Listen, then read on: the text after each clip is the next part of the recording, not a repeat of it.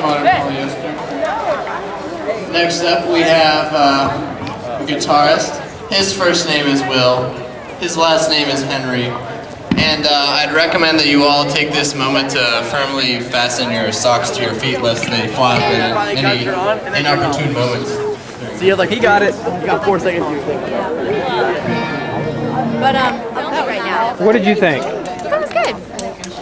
What did you think? I thought um, I liked the name. It's postmodern. What was it? Postmodern polyester, Very, very polythene Pam? I think they're I think they're doing a good job with their like creativity and names. Yeah. I hear that song every night though, so What you think, honey? I thought it was awesome. What They were you think? great. They were awesome. Molly liked it. What did Don think? Oh, thumbs up. Man, that drumming. Some of those rhythms are tough. Yes. I mean, that one, um, you know, that one. It's not